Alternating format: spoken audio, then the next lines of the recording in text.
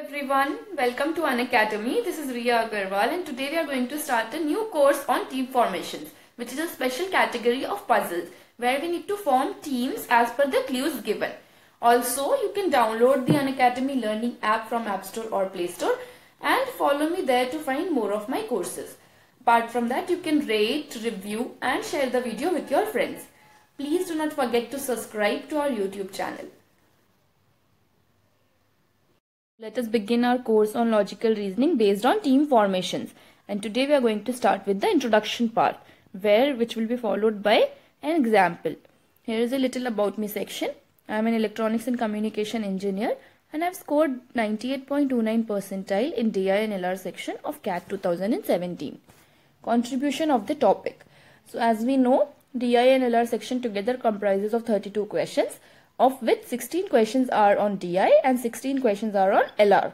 So out of the 16 questions on LR, they are set forward as one uh, as four sets where each set has four questions each. So one of the sets may be based on team formations. If so, we can end up scoring the complete 100% in the 25% part of logical reasoning if we are thoroughly prepared with this topic. This analysis is based on previous year's papers. Moving on, what is team formation?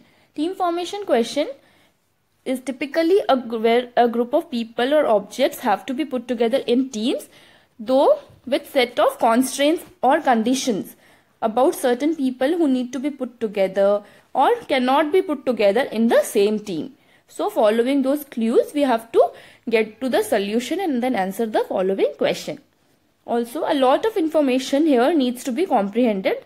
So, we should take special care how we can come up with an appropriate framework which will help us to smoothly fit all the clues and get to the solution. Moving on to the key skills involved to solve this kind of questions. The ability to visualize what kind of structure will be smooth enough to get to the solution. It will depend on the teams to be formed including the number of people or objects that are there in each team okay number two the ability to order clues in some proper order of uses.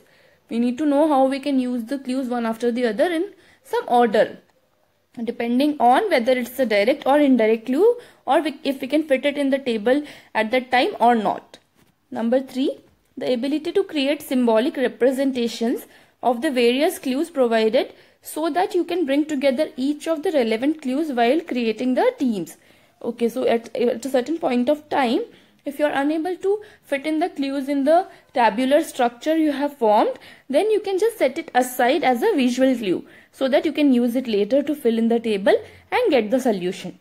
Number 4 the ability to wait and reach the appropriate time when you can use some indirect clues to get the solution.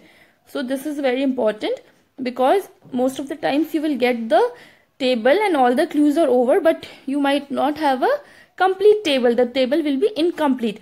And only by analysis of indirect clues you can be able to get to the solution.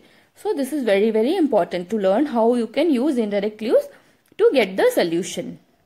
Next moving on to the problem we'll see an example. Five places are visited by six friends. Anirudh chanakya duryodhan chaitanya ishwar and bali. Okay for their project research. The places are Mathura, Ayodhya, Swargat, Gokul and Arki. Okay, so there are five places and those are visited by six friends. So in this question I get to know that the there are only two parameters, the places and the people. So instead of making a tabular column and so solving it like that, in this question I will show you how you can go by tick and cross method or yes or no method by but uh, I would suggest you only do that when you have just two parameters. For more than two parameters, it is not suggested to take up that method. So in this problem, I am going to explain you what is that method all about. So here, as you can see in this table, I have made, I have put uh, this all the peoples in one column and all the places in a row. So I have access to like Anirudh Mathura, Anirudh Ayodhya, Anirudh Swargat so that I can put yes or no whether they have been to that place or not as per the clues and then solve the questions. So now we'll begin with the clues.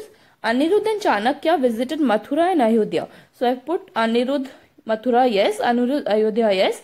Same for Chanakya, yes and yes for Mathura and Ayodhya. Next, Duryodhan and Anirudh visited Ayodhya and Swargat. Duryodhan visited Ayodhya and Swargat and Anirudh visited Ayodhya and Swargat. Ayodhya was already a yes, so I put yes against Swargat. Next, Chaitanya and Bali visited Gokul and Mathura. Chaitanya and Bali visited Gokul and Gokul and Mathura. Gokul and Mathura. Next, Duryodhan, Ishwar and Bali visited Swargat and Gokul. Duryodhan visited Swargat and Gokul. Ishwar visited Swargat and Gokul and Bali visited Swargat and Gokul. Next, Ishwar and Duryodhan visited Swargat and Arki. Ishwar, Swargat was already a yes, so he visited Arki. And who else? Duryodhan. Duryodhan, Swargat was a yes, so I put R yes for Arki. So now I'm done with all the clues and this is the table I get at the end of it. So now we'll proceed to the questions and see if we can solve them. Who visited Swargat, Gokul, Ayodhya and Arki? Okay, so this four places Ayodhya, Swargat, Gokul and Arki. This uh, Duryodhan is the only person who have yes for all these four places. So our correct option will be Duryodhan option D. Who visited Swargat, Gokul and Mathura? Swargat, Gokul and Mathura. So I can see here Swargat, Gokul and Mathura. Bali is the only person who have yes for only these three places. So the correct option will be B. Bali. Who visited Swargat, Mathura and Ayodhya? Okay. Swargat, Mathura and Ayodhya.